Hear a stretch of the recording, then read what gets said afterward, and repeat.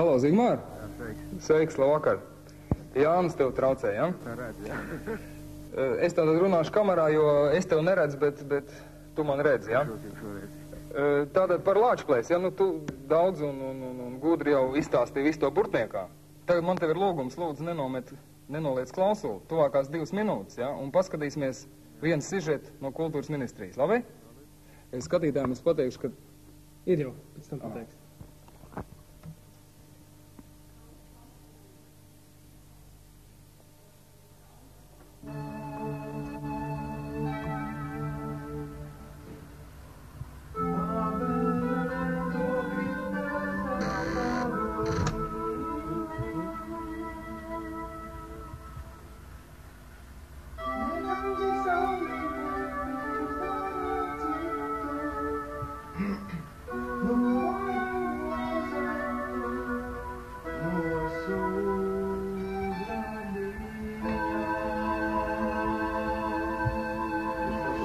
Lord.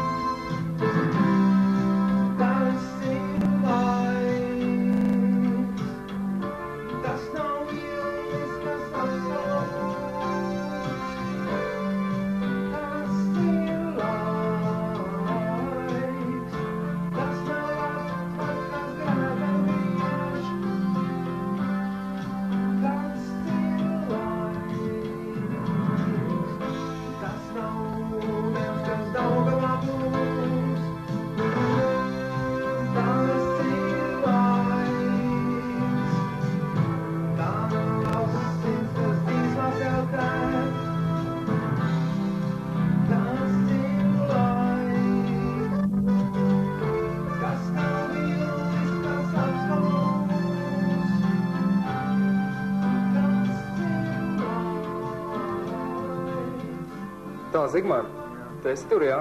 Eh, Tagad man piezīmēja režisors un pateica, ka man esot jārunā klusāk, bet tev esot jārunā skaļāk. Nu, es runāju redz, cik es labi dziedu.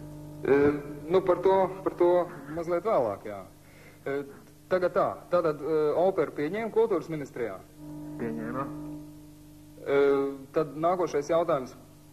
To arī te skatītājs viens zvanīja. Kad un kur varēs redzēt kaut ko no Lāčplēša? To faktiski es nevaru nemaz atbildēt pašreizajā brīdī, jo uh, gan jau ir vēl pēdējais etaps palicis ir aranžējas nodošana pilotā. Tas ir apmēram vēl vismaz mēnesis, kamēr pilnu partitūru būs. Mm -hmm. Bet varbūt daļai vismaz kādu. Daļai varēs redzēt uh, Mārs Zalīts Audaru vakarā 29. datumā mazajā ģildē. Amatielā. Pagad, tu nejauc 29. Ā, šis ir garais gads. Nē, es nejaucu. Jā. Garais gads. Uh, 29. februārī būs Māra Zalīts autoru vakars, kurš ir veltīts kultūras fondam, Daugavs tieši, manuprāt, fondam Mhm. uh, sastāvdaļai, kurā mm, mēs esam uzaicinājuši piedalīties un ceram, ka viņi visi arī varēs piedalīties. Sešas dziedātājs, es viņus varu nosaukt tagad, tas ir Mhm. Igo Fomins, uh, Zifrīds Mukta Pāvels, uh, Maija Lūsēna, Aivars Brīze, Imants Vanzovičs un Niks Matvējos. Katrs piedalīsies ar vienu dziesmu no šīs izrādes, un uh, tātad 29. datumā pūkstens septiņos. Mhm. Eh, Zigmār, man vēl tev jautājums, vai tev nešķiet, ka būtu pēdējais laiks tev pašam sākt dziedāt?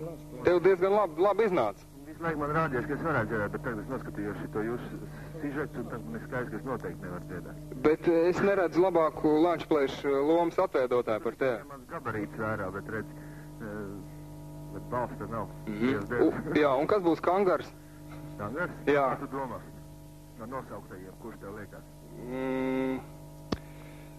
Nu, ja tu neesi lāčplēs, tad tu būsi kangars noteikti. Es vispār nedziedāšu. Jā. Kangars būs Imants Vanzovičs. Skaidrs, jā. Labi, pasveicini Imantu, lai viņš jau sāk atstrādāt savu, savu lomu, jā.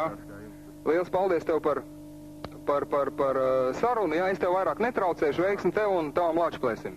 Mhm. Mēs arī sakam Zigmāram Liepiņam paldies par šo sarunu. Jā. Tagad, uh,